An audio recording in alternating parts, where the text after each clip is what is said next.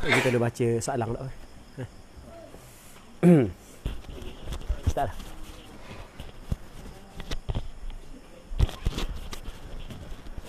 السلام عليكم ورحمة الله تعالى وبركاته أعوذ بالله من الشيطان الرجيم بسم الله الرحمن الرحيم الحمد لله رب العالمين والصلاة والسلام على أشرف الأنبياء والمرسلين سيدنا محمد وعلى آله وصحبه أجمعين.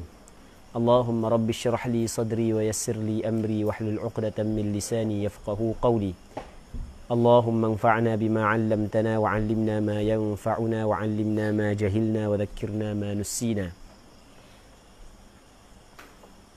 كده. dengar balik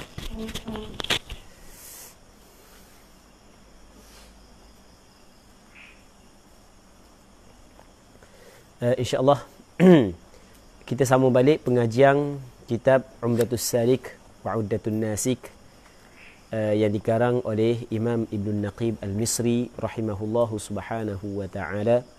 Wa nafa'ana Allahu bi'ulumihi fid darain amin.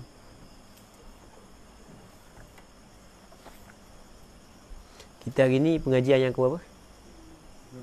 15 okay, Pengajian yang ke-15 daripada kitab uh, Umdatus Salik wa Uddatun Nasik jadi katanya cari mana pula dah ingat dah ni.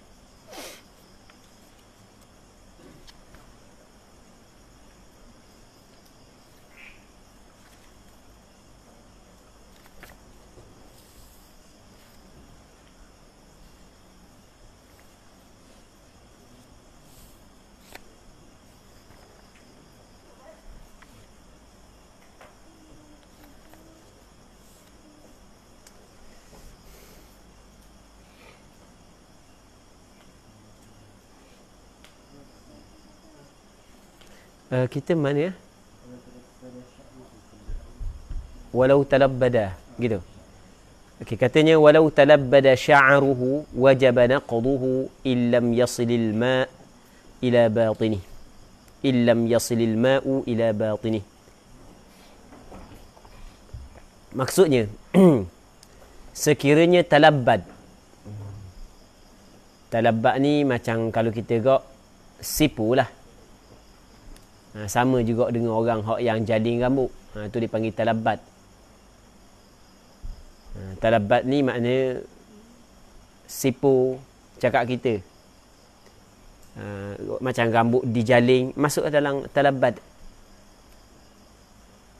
Dan sekiranya talabbada sya'ruhu jadi rambut dia rapak sipu ketika tu wajib naqduhu wajib kena rungkaikan jadi ketika seorang tu mandi wajib apa yang diwajibkan kepada dia ataupun hak lepas kita bincang berkenaan dengan fardu mandi wajib. Fardu mandi wajib ada dua perkara. Yang pertamanya niat, yang keduanya adalah meratakan air keseluruhan bulu dan kulitnya. Uh, katanya andai kata rambut orang saat ni tu uh, sipu ataupun rambut orang tu dijaling ataupun orang tu uh, benda orang puang dia benda dia panggil? Sanggul rambut dia. Maka ketika tu apakah hukum merungkaikan balik sanggulang tersebut? Katanya wajib naqduhu wajib merungkaikannya. Illam yasilil ma'u ila batini sekiranya tidak sampai air kepada batinnya kepada bawah rambut tersebut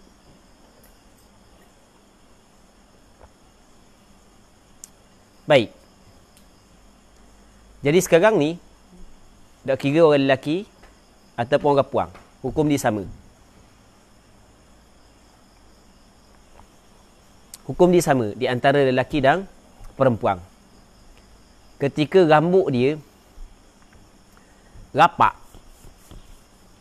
Jadi kalau sekiranya dia tidak rungkaikan rambut hok rapak saat itu, rambut hok yang disanggul ke ataupun rambut hok yang dijaling ke kalau dia tidak rungkai maka air tidak sampai bawah tu maka ketika tu hukum merungkaikan simpulan tersebut adalah wajib Tetapi kalau dia tidak rungkai sekali pun, air tetap sampai di bawah pangkal rambut dengan sangkaan. Dia hanya zon saja, sangkaan. Dengan sangkaan yang kuat, bahawasanya air sampai kepada pangkal rambut tanpa dirungkaikan rambut, maka ketika itu hukum merungkaikan rambut bukanlah wajib. Bukan hukumnya hanyalah sunat sahaja. Dia faham? Eh, manakala hadis yang diriwayat daripada Ummu Salamah, Aisyah dan uh, Ummu Salamah dan Aisyah yang mana Aisyah radhiyallahu taala anha ataupun Ummu Salamah radhiyallahu taala anha dia pernah khabar kepada Rasulullah bahawa bahawasanya dia ni rambut rambut dia memang rambut diikat molek eh, rambut dia dia jaling diikat maka ditanya Rasulullah adakah aku perlu rungkaikan ketika aku mandi mandi janabah Kata Nabi sallallahu alaihi wasallam tidak. Ha, tak perlu, tak apa. Innama yakfiki an tahthi ala ra'siki thalath hasayatin mimma kata Rasulullah. Cukup dah. Ha, mu ambil ha, tiga air, tiga tiga tiga tiga raut air, mu letak di atas kepalamu. Cukup dah. Ha, cukup dah kata Rasulullah. Ha, jadi tengok kepada zahir hadis ni bahawasanya perempuan hak yang uh, ada sanggul tidak wajib dia buka sanggul tersebut. Baik, Mazhab Imam Syafi'i menanggung hadis ini, meletakkan hadis ini uh, untuk orang ataupun perempuan yang kalau dia tidak rungkai pun rambut tersebut, sanggul tersebut tetap air sampai kepada batin dengan sangkaan dia, dengan kuat sangkaan dia. Jadi hadis ini uh, untuk orang yang sangkaan kuat dia bahawasanya air sampai kepada pangkal rambut walaupun dia tidak rungkai, dia tidak buang ataupun dia tidak buka semula simpulan itu. Okey, boleh faham? Ini mengikut mazhab Imam Syafi'i. Okey, habis. Katanya وَمَنْ عَلَيْهِ نَجَاسَةٌ يَغْسِلُهَا ثُمَّ يَغْتَسِلُ Man mereka man ni dipanggil isim mausul. Uh, dia man digunakan untuk lelaki dan perempuan. Ha, ni umumlah lelaki pun man uh, dalam man ni masuk lelaki dan perempuan samanya. dan mereka yang ada di atasnya alaihi khabar muqaddam najasatun mubtada muakhar.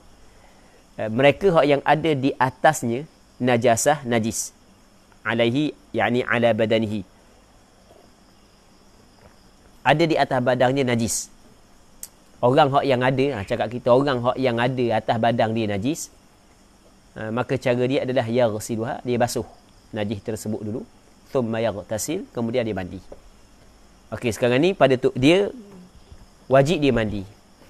Ha, mungkin kerana berjunub mungkin kerana haid mungkin kerana nifas mungkin kerana wiladah yang kita bincang dah.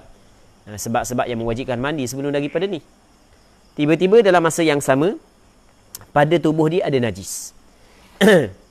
Ha, maka hak yang paling comelnya hak yang paling comelnya adalah dia basuh, lepas tu baru dia mandi.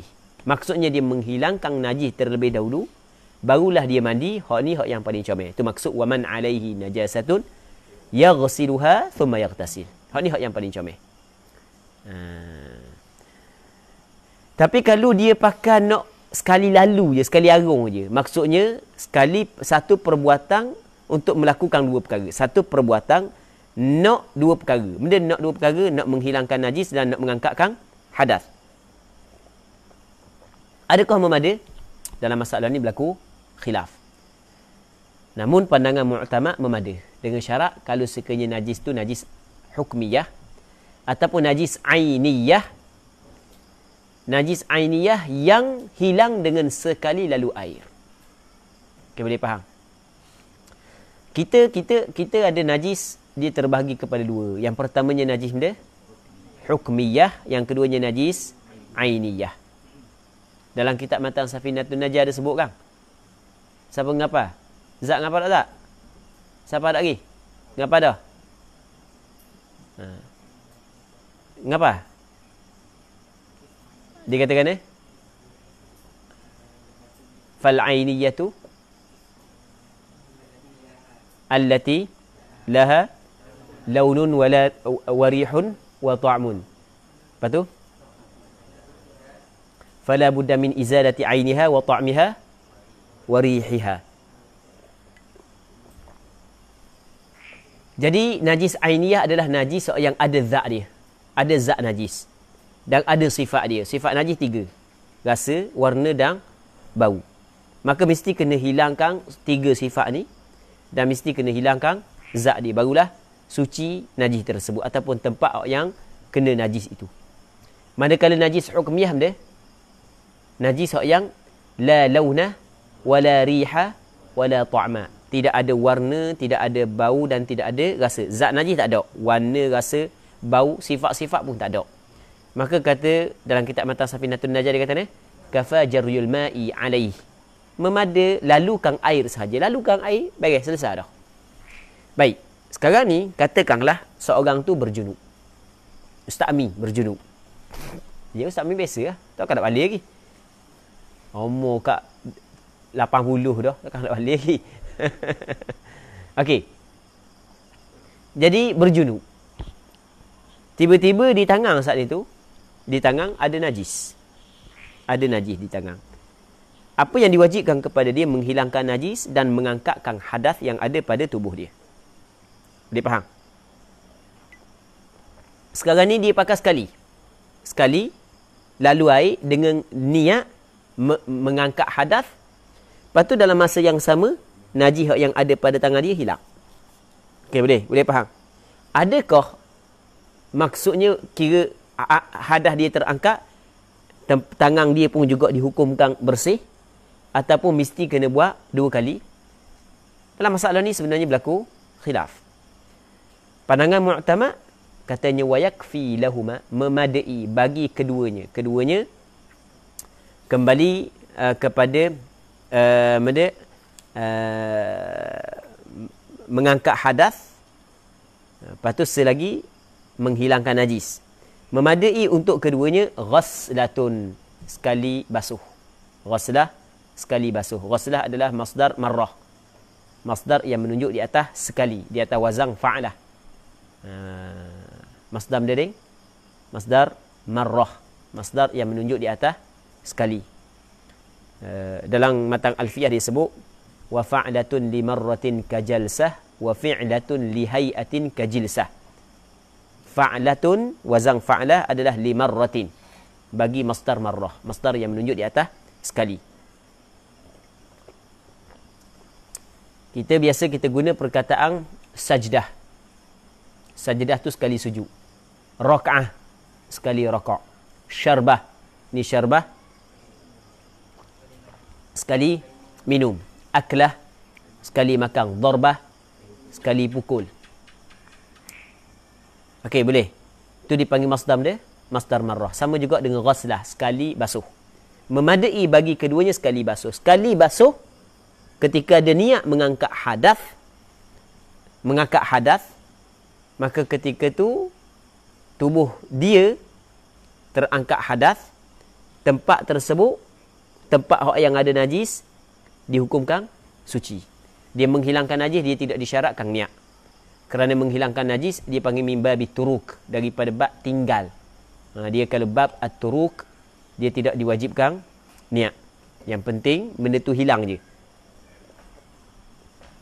Nah ha, tu maksudnya wa yakfi lahumā ghaslatun fil asah memada bagi keduanya sekali basuh mengikut pandangan hak yang al asah. Katanya, Anda ulang sekali lagi ya.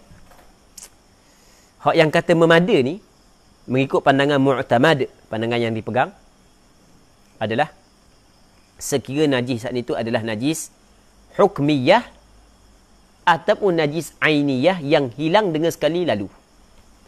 Tetapi kalau najis ainiyah yang tidak hilang dengan sekali lalu, sekali lalu air masih lagi ada zat jirim najis, ada ain najis. Ataupun sifat-sifat dia masih lagi ada yang mudah untuk dihilangkan tapi mungkin dengan kali yang kedua ataupun kali yang ketiga. Maka ketika itu tidak terangkat hadas pada tempat tersebut. Okey boleh boleh. Nampak orang? Begitu juga tempat tersebut lagi tidak lagi dihukumkan sebagai suci. Ha, dah ada najis itu. Ha, nak terangkat awan ni. Ha, dok rata lagi. Katanya walau kana 'alaiha ghuslu janabatin wa ghuslu haidin faghtasalat li ahadihima kafa anhuma. Sekiranya ada di atasnya. Ha, ada atasnya. Atas seorang perempuan. Ala ala wujub. Ada kewajipan atas seorang perempuan ghuslu. Ha, ulama fiqh dia guna ghuslu untuk mandi, ghuslun untuk basuh. Itu istilah yang digunakan oleh ulama fiqh.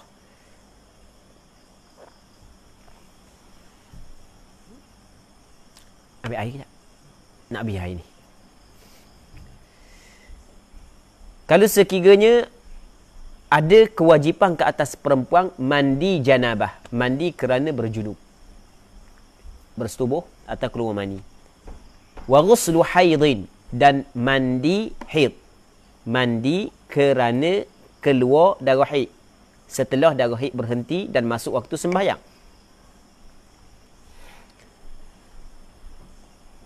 katanya faghtasalat li ahadima maka perempuan tu mandi untuk salah satu daripada keduanya dia mandi untuk menghilangkan janabah mengangkat janabah ataupun ni niat mandi kerana haid menghilangkan hadas haid baik katanya kafa anhuma memadai daripada keduanya ha, memadailah ha, al-ightisalul madhkur mandi tersebut anhuma daripada keduanya kembali kepada janabah dengan haid.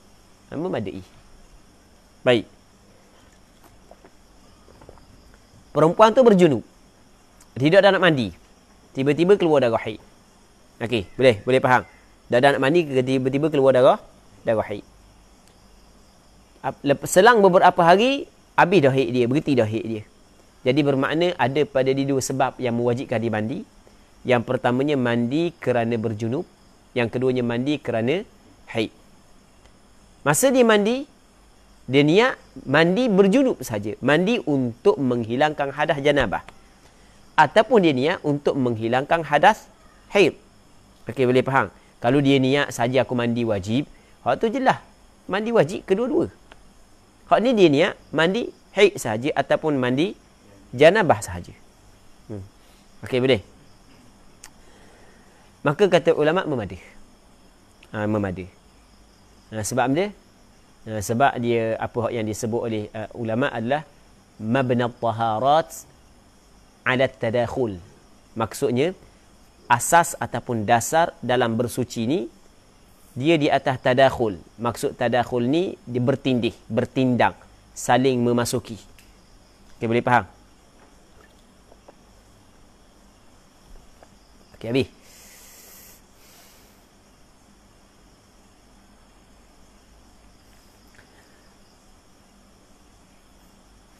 Katanya wa man ightasala marratan wahidatan bi niyyati janabatin wa jumu'atin hasala. Di sama juga masalah ni ni mas- dengan masalah perempuan setelah daripada bersalin keluar darah nifas. Kita antara sebab yang mewajibkan mandi adalah wiladah bersalin. Jadi apabila keluar darah nifas ni tak boleh mandi dah wiladah. Nak mandi wiladah warna tak nak semayang. Tidak wajib dia mandi wiladah. Nanti lepas daripada habis nifas, tiba-tiba dia mandi kerana me- mengangkat hadas wiladah ataupun dia mandi kerana mengangkat hadas nifas. Maka hadas nifas maka kedua-dua hadas tersebut terangkat. Sama je. Baik. Nah, sebab sebab dia sebab uh, kewajipan mandi janabah dengan mandi haid ni dipanggil asal yang ditetapkan oleh syarak. Maka apabila ada dua perkara pada seseorang sebab ni dua perkara ni asal benda yang diwajibkan oleh syarak. Okey boleh fahami? Ni dua perkara ni adalah dua perkara yang as dua perkara ni adalah benda yang diwajibkan oleh syarak secara asal lagi. Maksud faham tak secara asal? Asal dia memang diwajibkan oleh syarak. Baik, jadi apabila dua perkara hak yang secara asasnya pada asalnya diwajibkan oleh syarak maka memada dengan melakukan salah satu daripada keduanya. Untuk kedua-duanya. Memada dengan dilakukan salah satu daripada keduanya maka terjadilah kedua-dua. Ia berbeza dengan suatu kewajipan mandi yang diwajibkan oleh syarak asalatan kira pada asal lagi Lepas tu yang keduanya, benda tu tidak diwajibkan pada asal. Tapi dia yang mewajibkan. Maksudnya dia bernazar. Bernazar, wajib atas aku mandi. Sebagai contoh, wajib atas aku mandi. Wajib atas aku mandi. Kalau berlaku sekian, sekian, sekian, sekian. Sebagai contoh. Okey, boleh boleh faham. Maka, dalam masa yang sama, dia berjuru. Okey, dia mewajibkan ke atas dia mandi dengan bernazar. Jadi asal nazar ni ataupun uh, uh, uh, katakanlah dia kata hari Jumaat ni, ni hari Jumaat ni. Wajib atas aku mandi Jumaat. Wajib atas aku mandi pada hari ni. Pada hari Jumaat ni. Okey, boleh faham? Okey. Maka dia kena laksanakan apa yang dia nazar. Dalam masa yang sama, dia berhadah besar adakah memada digabungkan di antara hadam besar dia dengan mandi hak yang dinazar? Tak. Kerana hak ni bukan wajib asal. Hak ni adalah wajib asal. Sama juga dua mandi hak yang dinazarkan. Ha. Dinazar kali pertama untuk mandi. Tak ada mandi, nazar pula kali kedua nak mandi. Maka adakah boleh pakai mandi sekaligus? Tak. Okey, boleh faham? Sebagaimana dia bernazar untuk puasa. Sehari. Lepas tu nazar pula nak puasa sehari. Adakah dia cukup memada puasa sehari ataupun kena puasa dua hari? Dua hari. Ok habis. Kejap.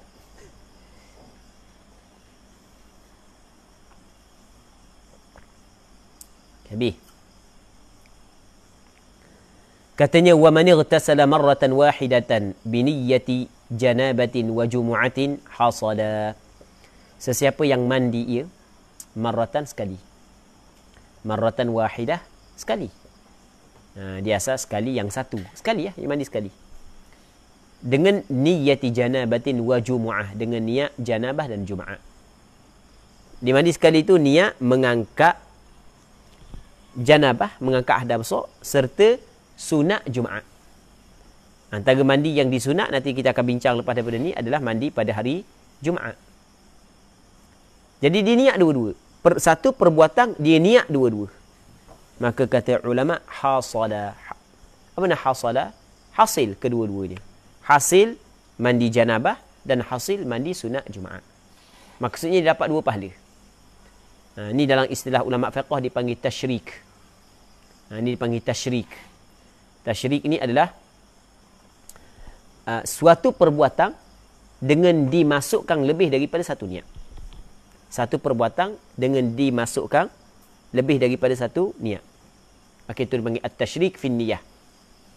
Uh, dalam istilah ulama dipanggil benda tasyrik fi niyyah. Uh, kalau nak tengok bab at-tasyrik fi niyyah secara panjang lebar boleh buka dalam kitab Al-Ashbah wan Nadhair karangan Imam As-Suyuti. Uh, dalam kaedah al-umur bimaqasidihah yang mana Imam As-Suyuti rahimahullahu taala dalam kitab Al-Ashbah wan Nadhair membincang panjang lebar berkenaan dengan permasalahan yang dinamakan sebagai at-tasyrik fi niyyah. Tidak at-tasyrik fi. Maksudnya satu perbuatan tapi digabungkan niat. Ha, niat diletakkan beberapa niat satu perbuatan. Contoh kita kata dia puasa niat qada, lepas tu niat puasa sunat Syawal. Ha, itu dipanggil at-tashrik. Ha, dalam kitab fiqh dipanggil istilah dia benda? Tashrik. Uh, dan kalau nak tengok perbincangan ni yang uh, lebih panjang, buka kitab kita cover kitab ni supaya rajin tengok kitab. kalau malah tengok kitab sama je lah. Uh, tengok dalam kitab Al-Mawsu'ah Al-Fiqhiyah Al-Kuwaitiyah dalam madah tashrik ta shin ra ya kaf. Dia ada bincang secara panjang lebar berkenaan dengan tasyrik mengikut pandangan empat mazhab serta dalil pandangan uh, serta dalil kepada setiap pandangan mazhab ataupun setiap mazhab. Ah, orang bagi dalil. Uh, jadi sesiapa yang mandi sekali dengan niat janabah dan jumaat hasala. Uh, hasil dapat. Uh, dia boleh belaka dua-dua. Uh, dia boleh belaka dua-dua maksudnya boleh uh, janabah pun terangkat sunat jumaat pun dapat sebab apa sebab kita ke bawah tadi mabna taharat ala tadakhul uh, asas ataupun dasar uh, taharah ni dia di atas bertindih, bertindang. Okey, anda cerita tak tadi? Benda saling memasuki. Faham? Katanya au bi niyyati ahadihima hasada dunal akhar. Ataupun dengan niat salah satu daripada keduanya. Ha, jadi sekarang ni pada hari Jumaat dia berjunub. Dia pun niat saja aku mandi hadah besar ataupun saja aku mandi wajib. Adakah dapat sunat Jumaat? Tak. Tak dapat sunat Jumaat. Ataupun niat saja aku mandi sunat Jumaat. Tidak ingat. Dia berjunub.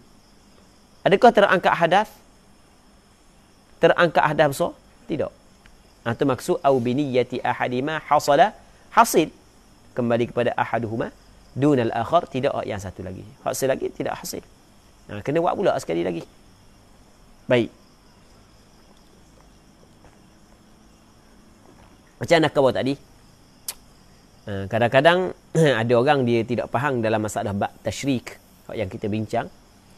Ha, dia kata gua ni, dia apa mazhab Imam Syafi'i kata boleh gabung di antara sembahyang eh, antara puasa sunat dengan puasa fardu puasa qada. Dia apa tak gabung di antara sembahyang sunat zuhur dengan sembahyang fardu zuhur. Apa tak gabung? Dan hak sunat, sunat hak tu fardu kan? Hak tu sunat, hak tu hak tu fardu sama kan? Ha, tu dipanggil tak faham cakap lagu tu. cakap lagu tu dia tidak faham. Kaedah yang digunakan oleh ulama mazhab Imam Syafi'i. Secara asasnya dalam masalah tasyrik ni dia tengok kepada uh, benda yang kita gabungkan niat saat ni tu. Uh, kalau uh, di antara ibadat dan bukan ibadat ada perbincangan dia. Uh, di antara ibadat sama-sama ibadat dia ada perbincangan dia.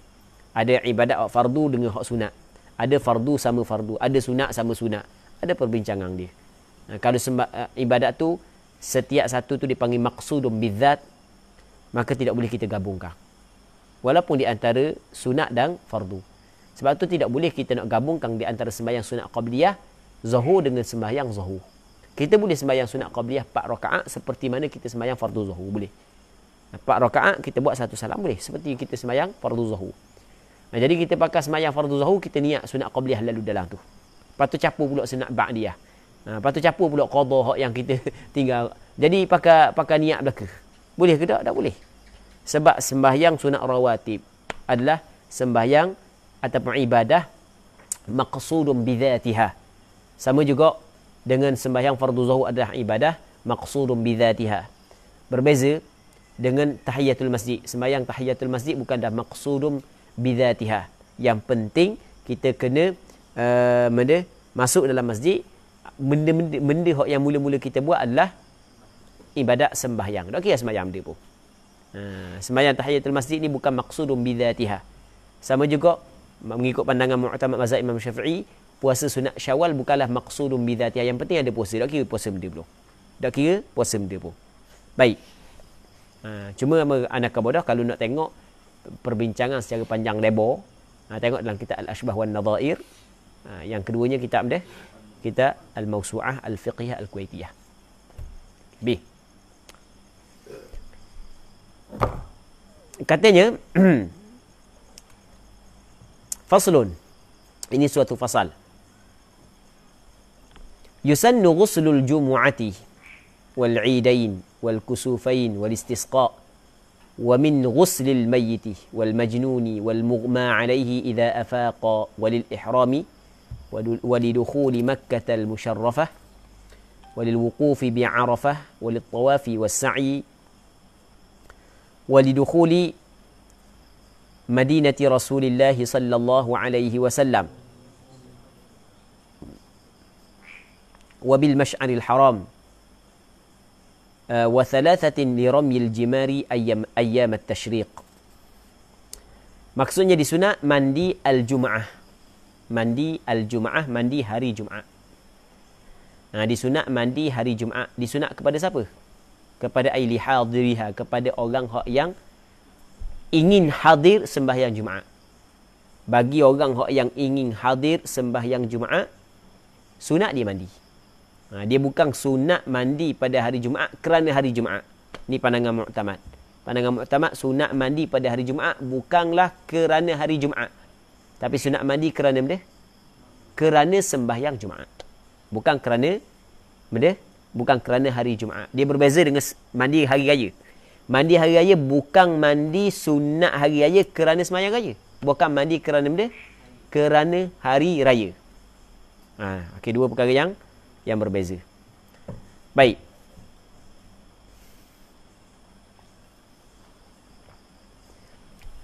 Di sunat mandi, ha, sunat mandi Jumaat mandi pada hari Jumaat.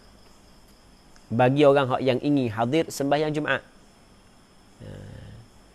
Tak kira orang yang nak hadir saat itu orang yang wajib atas dia sembahyang Jumaat ataupun tidak wajib.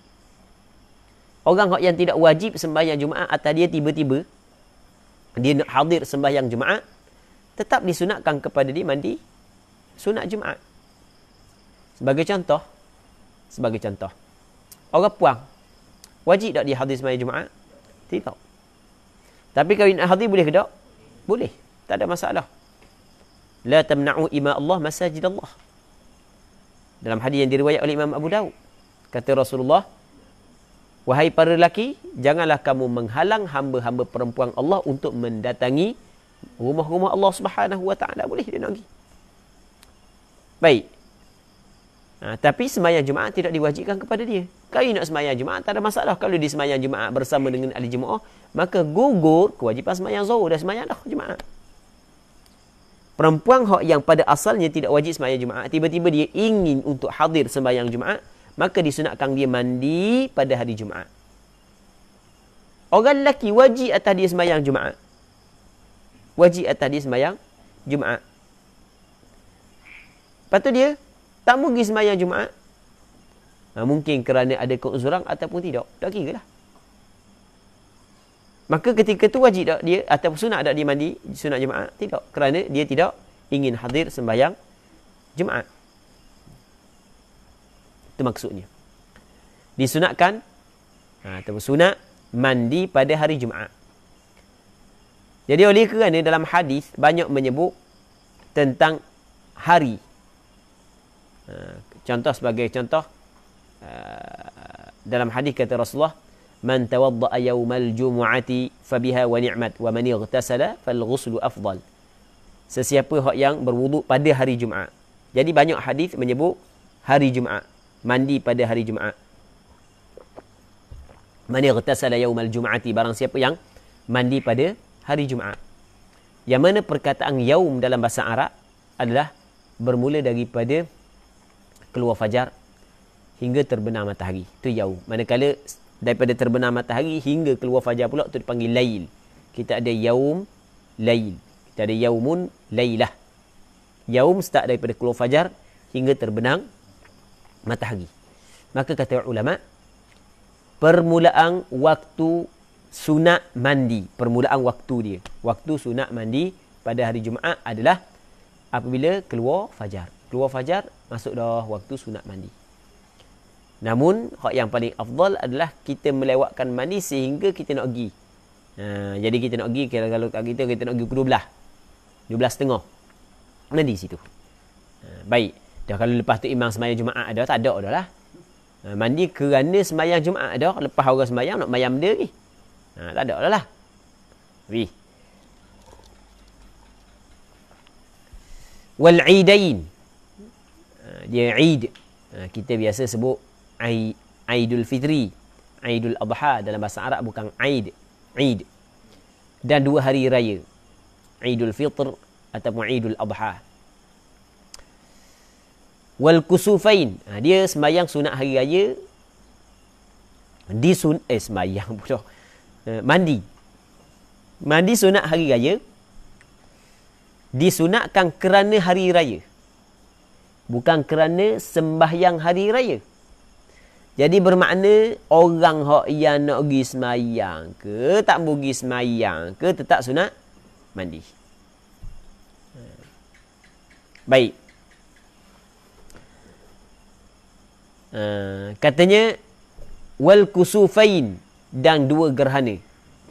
Maksud dua gerhana, gerhana matahari dan gerhana bulan. Uh, jadi sunat mandi. Wal istisqa. Ha, ni dipanggil sembahyang sunat gerhana matahari, gerhana bulan. Kita mandi sebelum tu. Sembahyang sebelum sembahyang sunat gerhana, mandi dulu.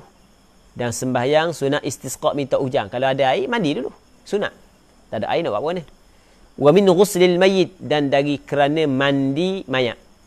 Ha, jadi orang yang mandi mayat, sunat dia mandi.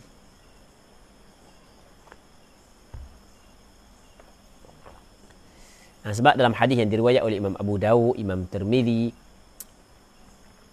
dan Imam Ibnu Majah, Nabi sallallahu alaihi wasallam menyebut man ghassala mayyitan falyaghtasil. Sesiapa hak yang mandi mayat maka hendaklah dia mandi. Sunat dia mandi. Ha, baik. Wal majnun. Sunat mandi orang gila wal mughma alaih orang hak yang pitang pengsang. Idza afaqa apabila keduanya sembuh. Orang gila pun baik dah. Orang uh, mendah orang pitang pun baik dah. Maka sunat dia mandi. Ha, sunat dia mandi. Walil ihram. Uh, dan kerana berihram kerana benda kerana berihram. Sunat mandi kerana berihram.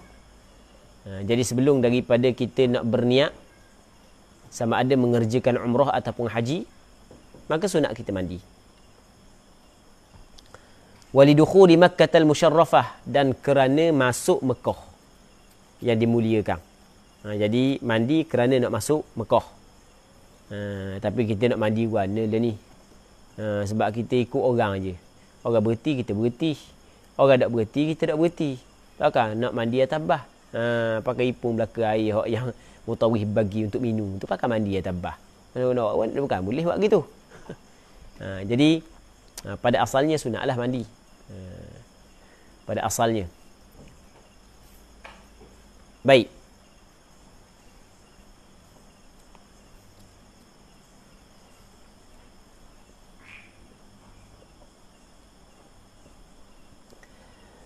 Katanya walil wukufi bi Arafah dan kerana berwukuf di Arafah. Uh, wukuf di Arafah. Maksud mana wukuf di Arafah? Berhenti di padang Arafah. Antara fardu haji atau rukun haji adalah wukuf di padang Arafah pada hari yang ke-9 daripada bulan Dhul Hijjah. Maka sebelum daripada wukuf di padang Arafah, maka sunat mandi. Walil tawafi was sa'i dan untuk tawaf dan bersa'i. Untuk tawaf. Ha, cuma mandi kerana tawaf, mandi kerana sa'i ni, ni bukan pandangan mu'tamad dalam mazhab Imam Syafi'i. Baik. Ha, jadi pandangan mu'tamad adalah tidak disunatkan mandi untuk tawaf. Ha, ni antara uh, permasalahan yang tidak muktamad yang ber, yang ada dalam kita uh, Umdatu As-Salik. Baik. Ha? Tak ada. Ha, pakai buang lalu dah. dah kita asal dia. Ha, kita asal dia. Kita ada waktu ada eh? Kita ada tulis wali tawafi. Lepas tu wasa'i ada. Ha, tu wabil masyaril haram. Ha, walidukhuli madinati Rasulullah sallallahu alaihi wasallam tak ada. Ha. Baik.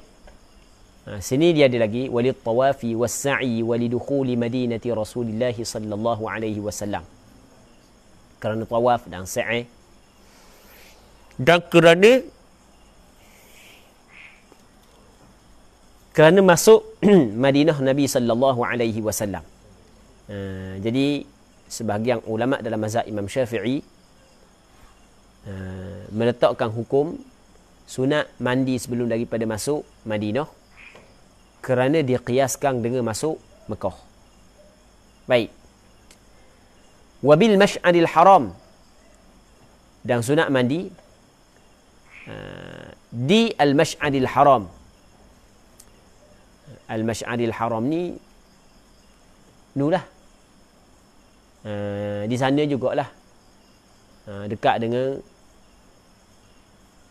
Muzdalifah tak silap ingat. Oh, dah ingat dah. Pada lagi semua. dah ingat. Uh, Allah Rabbi.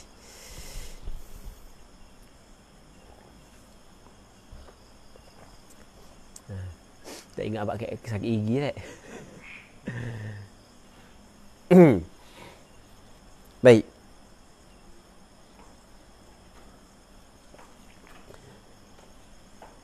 فإذا أفضتم من عرفات فاذكروا الله كم فإذا أفضتم من عرفات?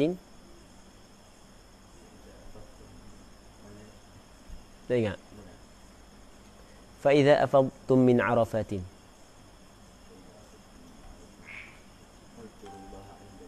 Ha, fadhkurullaha indal mash'anil haram. Baik, apabila kamu melakukan apa keluar daripada Arafah berakak dah daripada Arafah maka hendaklah menyebut Allah Subhanahu Wa Taala ingat kepada Allah Subhanahu Wa Taala di satu tempat nama dia Al-Mash'ari Al-Haram. Ha, dekat dengan Muzdalifah tu. Baik. Ha, tu, tu ingat Quran lah. Katanya wa dan tiga.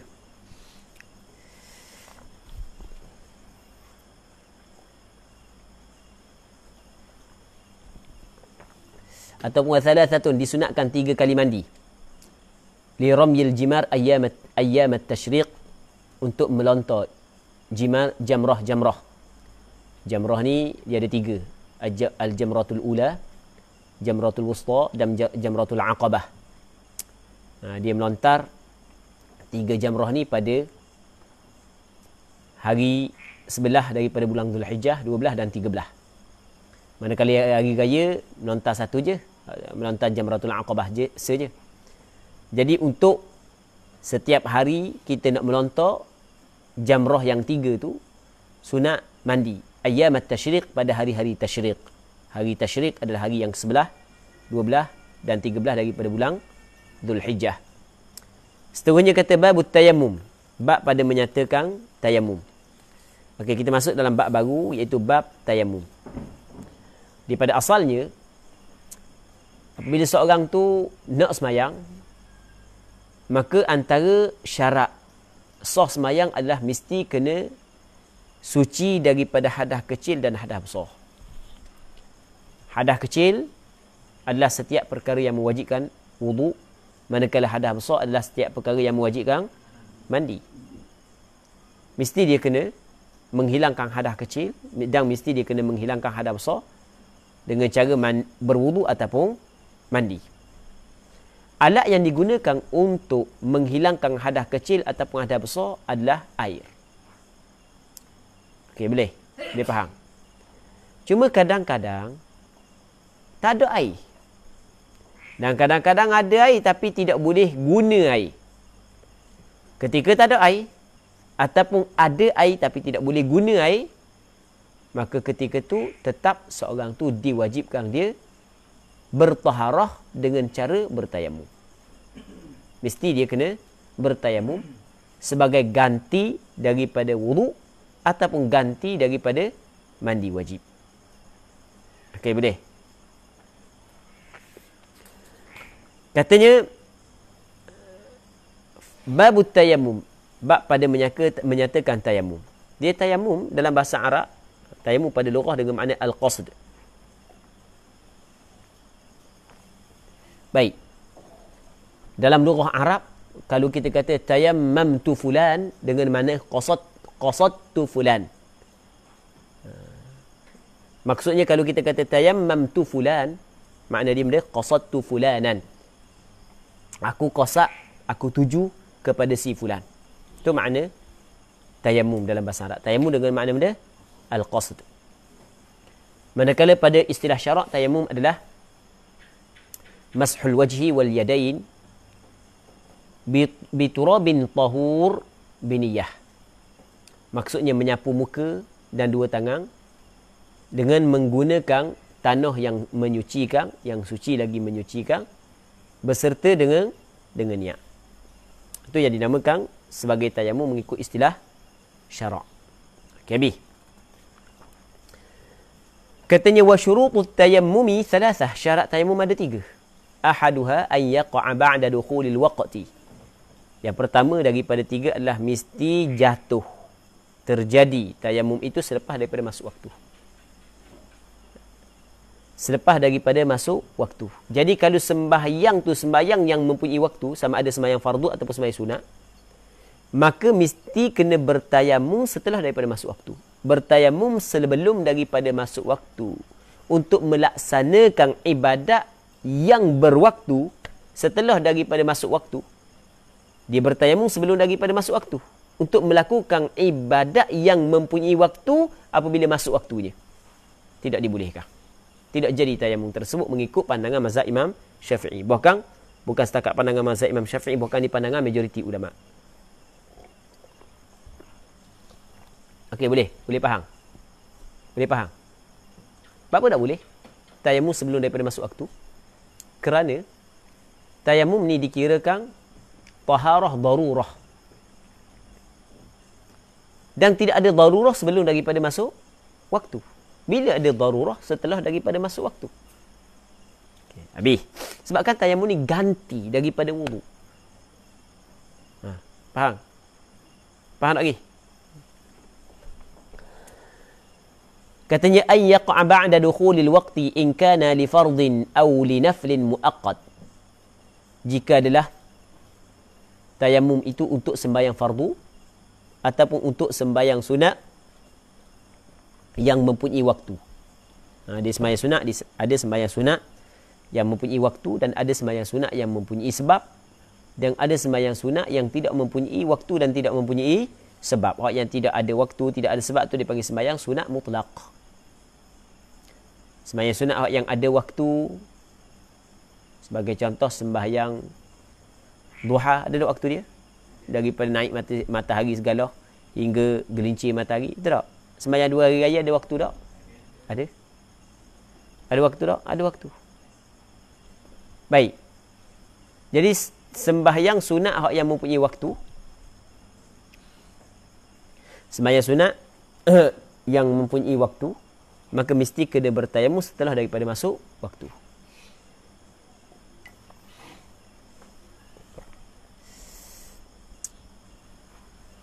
Bukan setakat tayamum selepas daripada masuk waktu bahkan bal yajibu naqlu turabi fil waqti. Bahkan wajib memindahkan tanah dalam waktu. Apa maksud pindah? Pindah tanah. Ambil tanah daripada satu tempat nak pergi sapu muka masa nak ambil tanah tu biar masuk waktu dah bukan maksudnya uh, sapu tu mesti masuk waktu ha, jadi orang nak bangi ha, tepuk dulu lah Duk tunggu 5 minit. Tangan ada debu eh. Pah ke bang. Lepas tu pergi sapu. Dengan tanah. Hak yang diambil sebelum daripada masuk waktu. Maka tidak memadai. Melainkan. Ha, dia ada pengecualian. Melainkan. Masa dia nak sapu saat ni tu. Dia niat. Ha, dia niat untuk ber, bertayamum. Atau untuk mengharuskan sembahyang. Okay, boleh faham? Faham? Kau tak faham ni? Jadi sekarang ni dia sebelum daripada zuhur dia tepuk. Okey. Jadi sekarang asalnya mesti kena tepuk setelah daripada masuk waktu. Sekarang ni tepuk tepuk sebelum daripada masuk waktu. Okey boleh. Nampak? Lepas daripada masuk waktu, dia pun sapu. Sapu. Masa sapu saat ni tu ada niat ah. Sini. Masa sapu niat ah, ada niat kan. Tidak memadai. Tapi kalau niat saat ni tu okey dia dia dia dia tepuk debu ada sini sebelum daripada sapu ha, ada niat ada niat sebelum daripada sapu dia ada niat tanah di tangan dia saat ni tu untuk digunakan sapu muka untuk digunakan sapu muka agar dia boleh semayang. Maka hak tu sah. Ha, sebab dipanggil ada juga ha, ha, pindah tanah di dalam waktu. Okay, boleh faham? Pindah tanah dalam waktu. Kenapa tak pindah tanah dalam waktu? Ada. Berlaku pemindahan daripada satu tempat kepada satu tempat yang yang lain. Betul? Berlaku dalam waktu. Walaupun diambil sebelum lagi pada waktu. Hak tak boleh gini, hak tak boleh. Dia ambil. Ha, tu. Tok sini.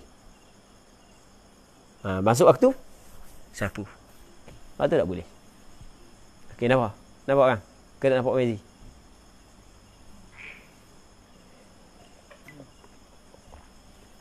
Sekarang ni sebelum daripada masuk waktu dia tepuk dah. Hak syarat dia mesti, dia wajib apa dia yang wajib kan? Mesti masuk waktu. Okey boleh. Lepas tu masuk waktu dia pun sapu tak sini. Masuk waktu dia pun sapu. Memada ke tak? Tidak memada. Sebab dia dia ambil sebelum daripada masuk waktu. Okey, kalau sekiranya ditepuk sebelum daripada masuk waktu.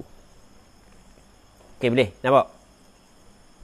Lepas daripada masuk waktu, baru dia tak di muka. Ada tak pemindahan? Ada. Maka tu tak ada masalah. Nampak? Okey, boleh, boleh, boleh. Nampak tak? Dua perkara yang berbeza. Hmm. Wallahu a'lam. Katanya, falau tayammama syakkan fil waqti lam yasiha wa in sadafah. Sekiranya dia tayamum. Dalam keadaan dia ragu-ragu. Dalam waktu. Masuk waktu ke lagi? Tetap dia tayamum. Ketika itu tidak sah tayamum dia. Walaupun bertepatan masuk waktu. Masuk waktu ke tak lagi? Tayamum dulu lah. Tengok-tengok, oh masuk waktu dah. Tak, tak boleh. Sebab dia kena kira masa dia bertayamum saat ni tu, dia yakin masuk waktu ataupun kuat sangkaan masuk waktu. Kalau dia melakukan dalam keadaan syok, walaupun betul pada hakikatnya, tak jadi. Ha, itu maksud dia.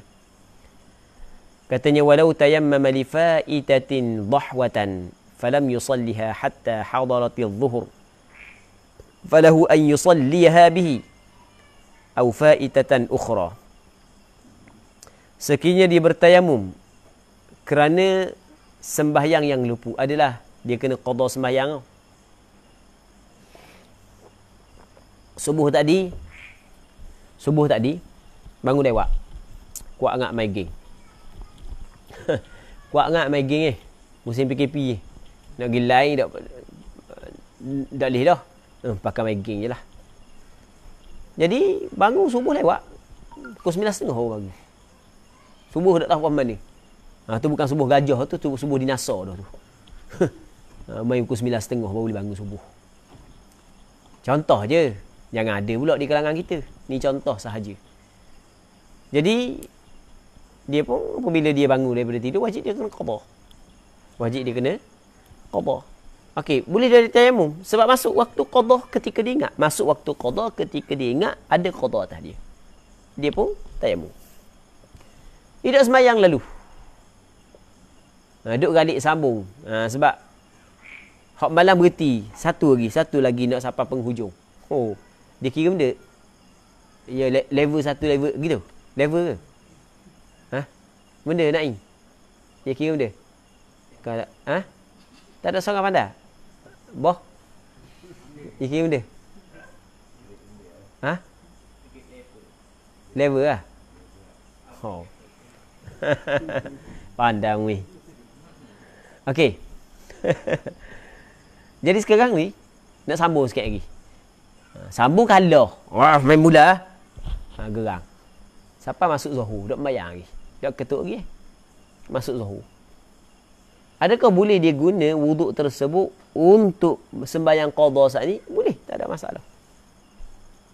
Bukan dia sembahyang zuhur. Okey, boleh faham? Boleh faham? Boleh, tak ada masalah walaupun masuk waktu. Zuhur bukan dia sembahyang zuhur, dia sembahyang dia. Sembahyang qadha. Ha, itu yang nak khabar. Itulah hak yang dia nak khabar. Itu maksud walau tayammama li fa'itatin dhahwatan. Dia bertayamum untuk sembahyang hak yang lupa, hak yang dia tinggal itulah. Dahwatan pada waktu dahwah. waktu pagi. Fadam yusalliha, dia tidak semayang. Hatta hadarati zuhur, sehingga hadir semayang zuhur. Masuk zuhur dah. Falahu maka jawab bagi lau. Maka harus baginya. Falahu ay fayajuzu lahu. An yusalliyaha bihi. Sembahyang. Ha. Dia sembahyang faitah saat itu dengan tayamum tersebut ataupun faitatan ukhra ataupun nak semayang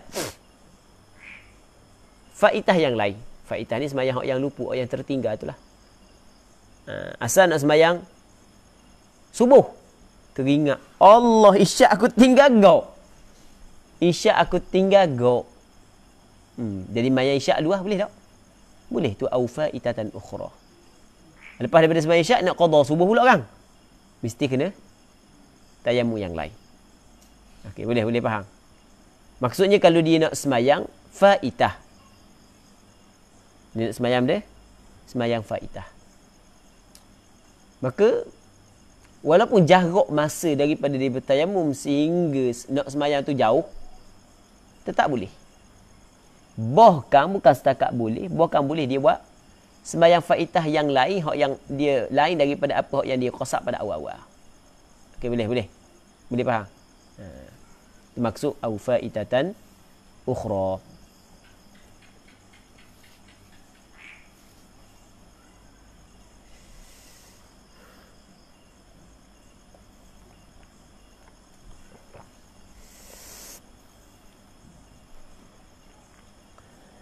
Asani yang kedua. Syarat tayamum yang yang kedua. An yakuna bi turabin tahirin khalisin mutlaqin lahu ghubar. Walau bi ghubari raml. Baik. Uh, berapa dah jam? Uh, kita untuk malam ni kita berhenti sini dulu lah. Kita ada minggu lepas kita ada soalan tau, tapi anda dah ingat nak ambil soalan. Uh, ada ada soalan? Razi ambil ya soalan malam ni ada soalan ke kita tengok soalan kejap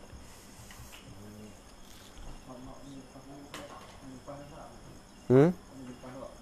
Ha, boleh tak?